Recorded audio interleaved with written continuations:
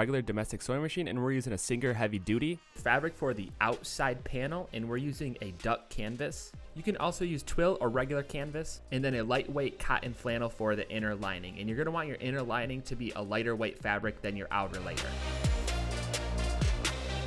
A sweatband and these sweatbands are available at capsupplyco.com. A closure for the back your pattern in this pattern is available at properfitclothing.com. Once you download and print your pattern off, go ahead and cut it on the outside of the black line. Getting started with the outside panel, you're going to want to go ahead and place it on the fold of the fabric. So once you have it placed, trace it and then go ahead and cut it out. And make sure you do not cut the folded area because you're going to open it up for your fold pattern. Then go ahead and repeat this process for the inner panel. The inner and outside panel look very similar, but they are just a little bit different because the inner panel is going to be just a little bit smaller so that way it fits nice and snug on the inside of the outer panel. Let's go ahead and take your outer panel and you're going to want to start sewing up the peaks and you're going to want to do the outside peaks first. Avoid sewing the middle peak. That's all you have to keep in mind. So you can start from the right and work your way towards the left. In this pattern calls for a quarter inch seam allowance, so go ahead and sew that first peak. And with each peak, you're gonna wanna do a top stitch on that seam. So flip it right side out, fold over that inside edge and stitch on the top. And keep in mind, you're gonna wanna get as close as you can to that top seam. So once you fold it over, place it under and place the needle very close to that seam, but also catching that back edge. And just go slow and sew all the way through and sew about a half an inch past where it ends. This will round it out at the bottom. Just think about as you're kind of just smoothing over that edge. Then go ahead and repeat this process for the rest of the peaks, but not the middle peak. Avoid the middle peak, do the outside edges first, and then we'll show you what to do next.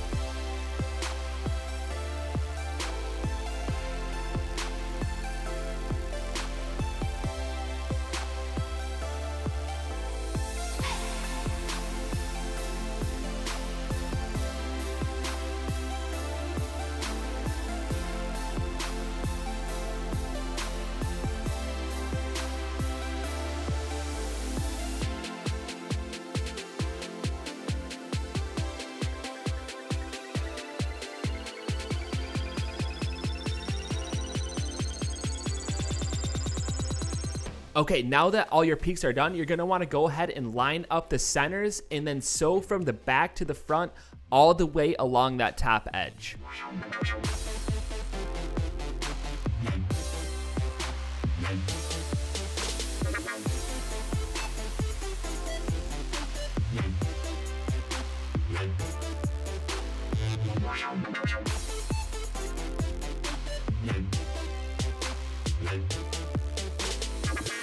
Then go ahead, flip it right side out, and then do a top stitch all the way across that top seam.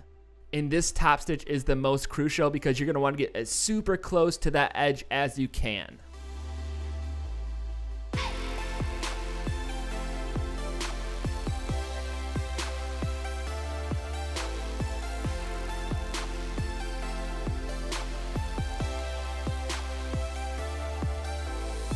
And as you can see, our top is not as perfect. You can definitely go closer to that edge because you can kind of see it's flapping over. So that's what I mean. You want to avoid that. But as close, the closer you get to that edge, the more flush and flat it's going to be.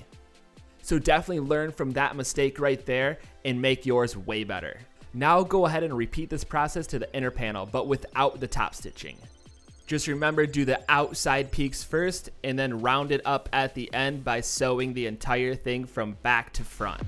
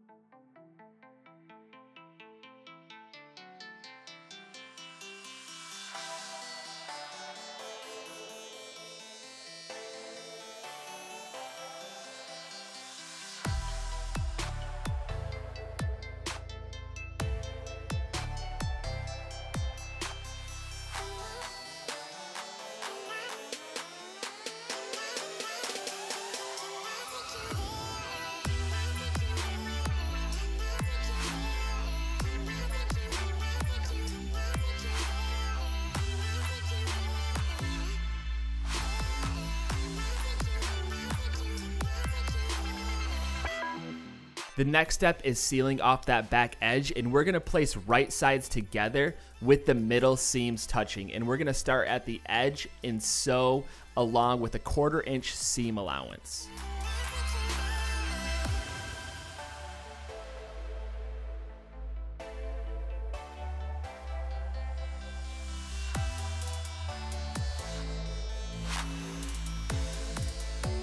And then go ahead and flip it right side out. Once you have it flipped right side out and the inside lines up with the outside, go ahead and do an edge stitch along that back edge. And we did ours about a quarter inch from the edge. And you can totally do two stitches here, one stitch. It's really up to you and the look you're going for. This is pretty much just sealing off that back edge and making it look nice and flat.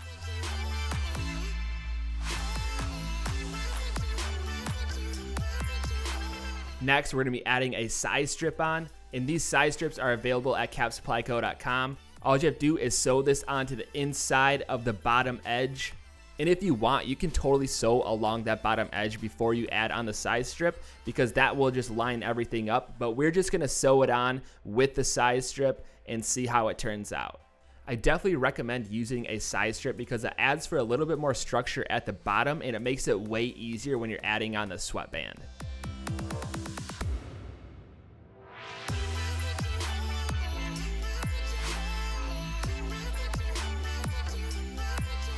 Next step is making the brim. Go ahead and grab your brim, whatever brim you're using, trace around the outside and down just a little bit past.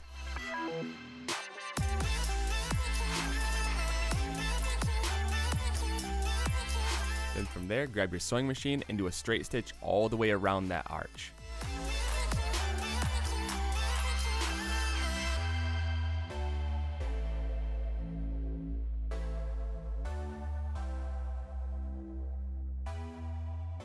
Now go ahead and trim about a quarter inch from that seam.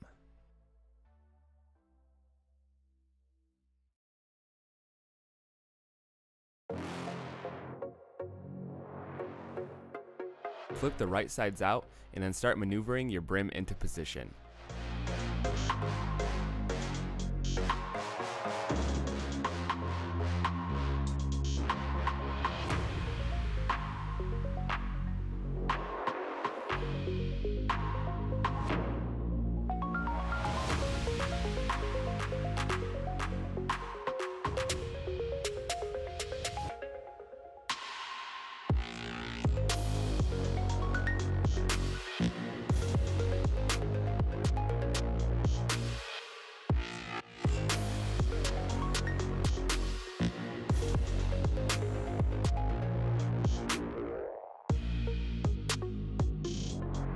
If you are satisfied with the look and the tightness, you can skip this next step, but we are going to be adding some stitches to the top of the brim. And we are using a guide that will be available on capsupplyco.com. It just helps with getting nice, neat stitches around As you can see, we're doing one line at a time, adjusting it, and then doing the next, and then making sure they're nice and even. Honestly, you can use any guide for this step, something that just keeps that brim from sliding all around.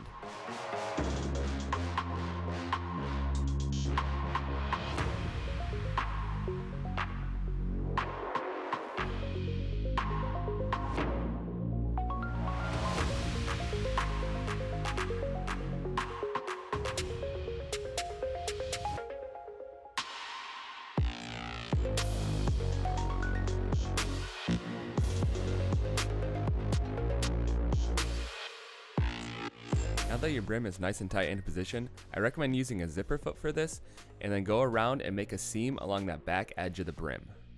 Pull towards the back of the brim to make that fabric nice and tight as you sew. Now go ahead and trim about a half an inch from the inside of that brim.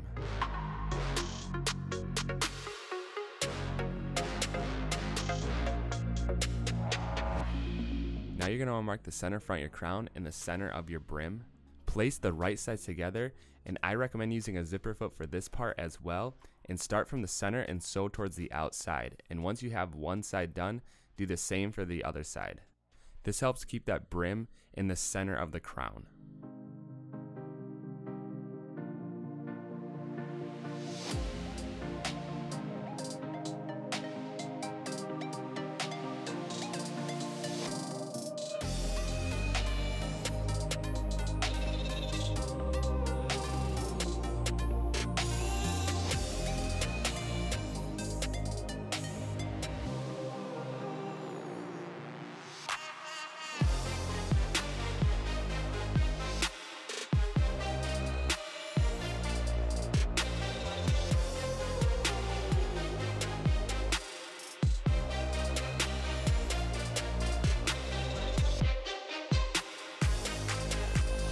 Now we're going to be attaching the sweatband. This step we made our own attachment and we made this out of heavier stock paper. All you have to do is make a little sleeve that your sweatband fits in there nice and snug and then go ahead and tape that onto your sewing machine. It serves as a guide so that way the sweatband doesn't slide all around while you're sewing it onto the crown.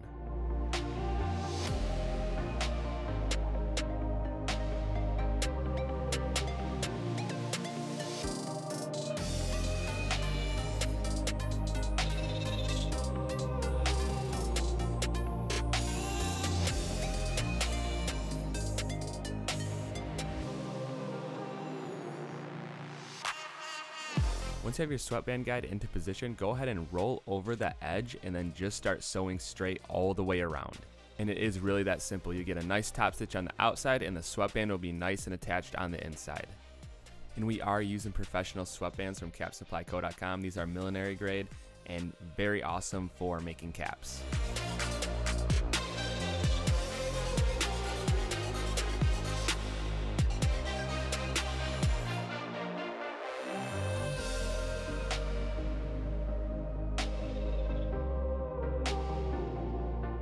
Now we're going to be adding on a plastic snap to the back for a closure. You can literally add whatever you want onto the back. Cap Supply Co. has a huge variety of different components you can add for closures. So go ahead and roll that sweatband over towards the inside and sandwich that plastic component in between and just sew that right on. And it is really just that simple and go ahead and do this for the other side. I do recommend using a heavier weight needle for this process because you are sewing through a decent amount of material. And you can totally pick where you want these to fall. We put ours directly in the center. You can put them more towards the bottom, and that's where most companies will put them is directly at the bottom, and it's totally up to you where you want them to fall.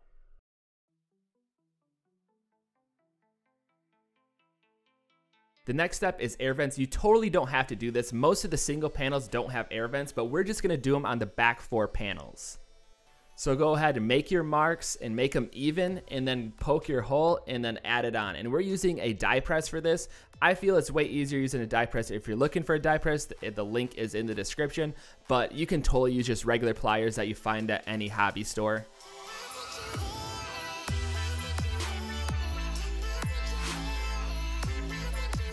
And there you have it. That's what it looks like with the eyelets. I personally like the eyelets, but it's totally up to you, whatever you want to do.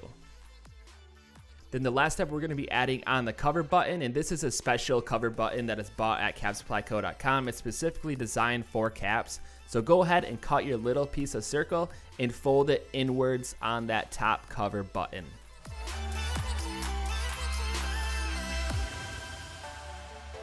Little trick for putting that fabric on. If you go to the store and get a regular cover button, you're not gonna have that three prong at the bottom, but you can use a little tool that is provided. All you have to do is place your fabric over it, push your button in, and as you can see, the fabric is easily folding over, so that way you can put your centerpiece nice and snug in. And the blue tool is to help push the fabric in and also push the centerpiece more snug. We will put a link in the description for this little toolkit because it does come in handy. And then we're gonna show you pretty much how to do this without tools. So go ahead and push your three prong in the center, line up your top cover button, then just push till you can kind of feel it catch. Then go ahead and take that little blue piece or any soft thing, place it over the button, just tap with a hammer, really locking that button into position. And there you have it, your single panel cap is done. Thank you so much for watching and supporting the channel. We're going to keep videos coming at you. Be sure to like, subscribe, comment, share this video with a friend, and we'll see you next time.